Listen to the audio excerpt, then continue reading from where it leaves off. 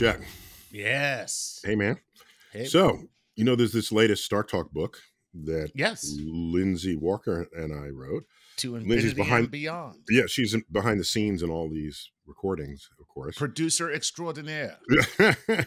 uh, we spend a large part of a chapter exploring how empty space actually is. Yeah. Yeah. You can get a sense it's empty because it's there's these big Well- vast voids and things, all right. And but I don't think people really feel how em- emotionally empty Oh, they came out wrong. No, that yeah, came I was out wrong. gonna say, yeah, when space space is just sitting around, just like I, I, I want to connect with people. I want to. I just, I don't understand why I just can't seem to make that kind of tight fit with anybody. I don't. It's Oh. it's it's tough in space. Being space. God, it just seems like no matter how much comes into me, I just still feel so empty. I mean, new stars are happening all the time, but still, I'm just, it just doesn't do it. What do I have to do to have some sense of accomplishment or fulfilledness in my life? I, I'm sorry, Space. Your t- our time is up. Maybe we can pick this up next week. space. So let's take a look. We have eight planets, Okay. and they go out, you know, four or five billion miles, but there's only eight of them, right? So Right. clearly that that's pretty empty, right? Yeah, But you know, there are these asteroids, right. and most of them are collected in this flattened zone Yeah, between Mars and Jupiter. right. Okay. Because it's a flattened zone, we call it a belt. There are comets that come into the sun from all directions. Right. And if you projected where they come from, it's a spherical region around the solar system. And that we wouldn't call that a belt Yeah. because it's a spherical region. We call that a cloud. a cloud, right? So The that's- and- cloud. the Oort cloud, uh, Jan Oort, who's a Dutch astronomer. So he saw how many comets were coming in from every direction. and- Right. And comets are moving fast when they're near the sun. All right. And when they go farther away from the sun, they move slower and slower and slower. So when he did the when he ran the math on this before computers, by the way, he ran the math, he concluded there must be billions of these comets way out there in these long loop orbits that come around Right. and they'll spend most of their time far away from the sun because that's when they're moving the slowest. Okay. Right. Pluto is the most significant member of the Kuiper belt of comets. Right. So that's a belt because it's a flattened Flattened disc. region around around the sun. All right, 1801, the first asteroid is discovered, and uh, people are excited because they think it's a planet. Right. They discovered orbiting in this big gap, suspiciously big gap between Mars and Jupiter. People were saying, "There's got to let's just keep looking. There's got to be something there. It's a bigger gap than you think should be there, given the distances between other Between the planets." other planets. Exactly. So they found Ceres that we found a planet, and then they found another one, Oh. and then they found another one, and another one. The first four asteroids: Ceres, Pallas, Vesta, and Juno. Ceres is the goddess of harvest, and that's the root to the word cereal. Okay. Yeah, There cool. you go. There you go. Yeah. Okay. So, anyhow, once we started to discovering many, many, many more of these, we realized wait a minute, they're all in the same swath of real estate. They don't sort of own their own space. And actually, they're really tiny. Right. They're so tiny through a telescope, they look like a star. Stars are so far away, you can't Right. see any size for them. These are right here with us. They're right here with So they look like stars, but they're not stars. Right. They're asteroids. Well, how many are there? Well, we started counting hundreds initially, then thousands, Wow. then tens of thousands, then hundreds of thousands. Right now, we're up over a million known asteroids with orbits and, and existence in our solar system. Right. And one of them has my name on it. Did I- did I tell you that? No. You didn't know that? I did not. You did not know that? I'm serious. I did not. Okay. We've been together a long time. How did know? How did I not? You have your own asteroid? Yes, I do. Yes, I do. I'm sorry. Okay. I, I, I don't mean to brag or anything. By the way, there are a lot of asteroids, so there's a, there's a limit to how big your head can get. which you get an, an asteroid named after you. Just saying. I, I don't Okay. know about that. That's not bad. I mean, I wouldn't mind. I mean, can you see it? Now that uh, that's the thing. well, I double checked that it's not headed towards Earth, or it's not on an Earth crossing orbit. Yeah, see, you, you you don't want to be that Yeah, asteroid. you don't want to be that asteroid. Yeah, it's just like Neil Tyson is coming to kill you all. so it's it's asteroid one three one two three Tyson. one three one two three Tyson. Yeah, that's that's what it is. That's cool, man. Okay, so I have a Now name. wait, wait a minute. There's now there's just very What? quickly. What? Can anybody get their own asteroid? I mean, is or is that something where like somebody bestowed this honor upon you? It's not one of those things where it's just like one of these services where it's just like you too can name a star. You know? Give it to your girlfriend for Valentine's Day. I Name like a star. You use the salesman voice, right? Name a star.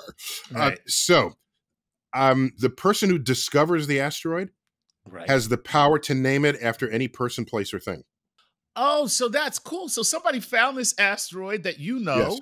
and they were just like, "Hey, Neil, I'm going to name this asteroid." Wow, that I'm going to say So that's that's an Is- honor. It's honor. that's yeah. more than an honor. That's like Yeah. that's like naming a child after somebody. Oh, you know? okay. Okay. I mean, honestly, that asteroid's going to be there long after we're all gone. Your kid's going to die. That's true. So if That's you, true. If you named your kid after me, it'd be like, okay, that's an honor for like what, seventy years, three score and ten. All right, yeah. It's not like your kid's going to live forever. You know, I was named after Chuck Nice. No, but that asteroid Yeah, will asteroid be be there, there. for generations to come. Long That's a after I'm dead. serious honor. There, there it is. Okay. So that's one of the asteroids in the asteroid belt.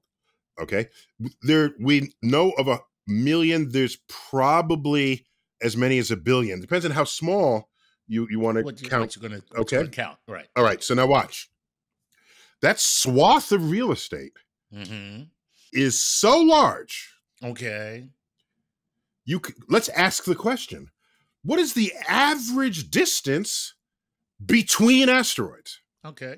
That's a very honest question to honest ask. Question. Yeah. Now, if you if you base it on movies, all right, that that average distance would be around uh, six and a half feet. that's right um, because you are Because you that's that's how you gotta navigate the spaceship to make the it look spaceship. cool. It doesn't look cool otherwise, Yeah, right? And the, and the, and the, and the rocks are banging off the side of the, the exactly. ship and jostling the ship. right. And, and even in Star Trek, uh, Captain, we're entering a star uh, uh, uh, an asteroid that's field. what- right. And there they go. And so, yeah, this is this is cinematic trope. What's going on as you enter an asteroid field? okay. I got a feeling right now. I got a feeling that you are about to ruin another cinematic constant or or or uh, uh, uh, tradition. Another cinematic tradition is about to bite the dust, courtesy of Neil deGrasse Tyson. why I you just- got why you got bill it like that? I just know Why you got to make me look? Why you got? Why you? Why you do that? something telling me, man. Okay, the average distance between Mm-hmm. asteroids in the asteroid belt Okay. is about six hundred thousand miles. Oh my god.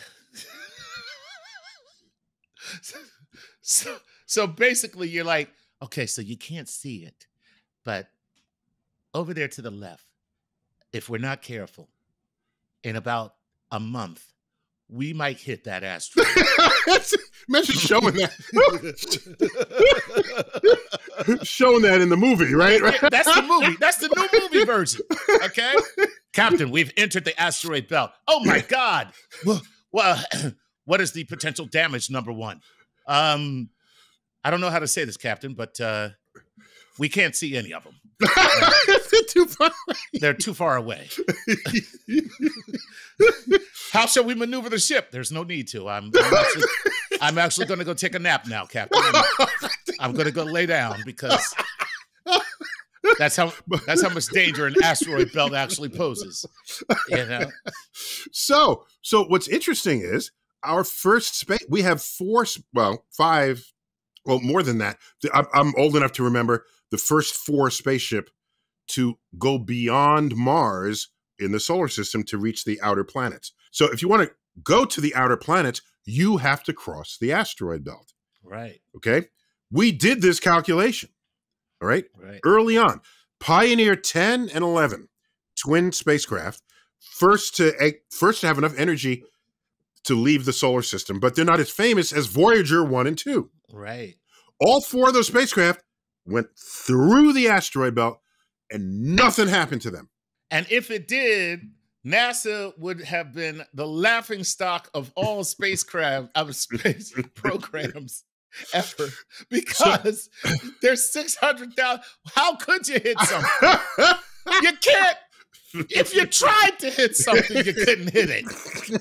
You gotta try. It's like when my dad took me to learn how to drive in the parking lot of the supermarket, Uh-huh. and the supermarket is closed, and I hit a lamppost. And he no, went, you didn't. What? How? What? What? How could you? There's, there's nothing here but lines on the ground and this one lamppost, and you hit it. How did you hit the lamppost? okay. so, yeah, I'm just trying to get real here. I mean, so that's all I'm saying. Oh my God. Yeah, yeah. That's terrible. so so that's why what- we, we don't worry about crossing the asteroid belt. We just No. send stuff through. It's not even a thing. Uh, yeah, exactly. Yeah. Yeah. I mean, honestly. Oh my God. And once again, I can say once again, Star Wars has it completely wrong when it comes to the science of space. One, Star, thank you, Star Wars, for your consi- your assiduous consistency, where you just get it wrong every time. So anyway, that was a long lead up to that one little bitty fact there. But Oh, you learned that I have so- an asteroid. I have an asteroid named after me. Yeah. That was so much Very fun. But actually, and that's the cool, the coolest thing. Well, actually, those are two cool things we learned. One, you are never getting hit by an asteroid in the asteroid belt. That's number one. Number one. Okay. And number Two. two, Tyson three two one. No, uh, it's one three one two three Tyson, one three one two three Tyson. Which There means at the time that was named for me, there was in the tens of thousands of named asteroids. Gotcha. okay. Gotcha. But got now we're like in the high hundreds of thousands getting named, and so there's asteroids named after, like I said, pers- people, places, and things. If you discover enough asteroids, you can name one after your pet. Um, right. Yeah. There you you, know. go. Uh, so there's an asteroid somewhere named Fluffy. That's what you're saying. there's, Fluffy ast- three one one two three. there's an asteroid uh, named Santa. That was kind of cool. The Santa world. And, Santa and I have a friend of mine who observed, who was at a telescope on Christmas Day, and he made sure to observe asteroid Santa on Christmas Day, Oh just, man, just for the grins of it. Yeah. Um, that's uh, uh, that's a cool thing to know, though. Once again, this has been a StarTalk explainer. This time, how crowded is the asteroid belt? Thanks for being there, Chuck. A pleasure. And Neil deGrasse Tyson, as always, keep looking up.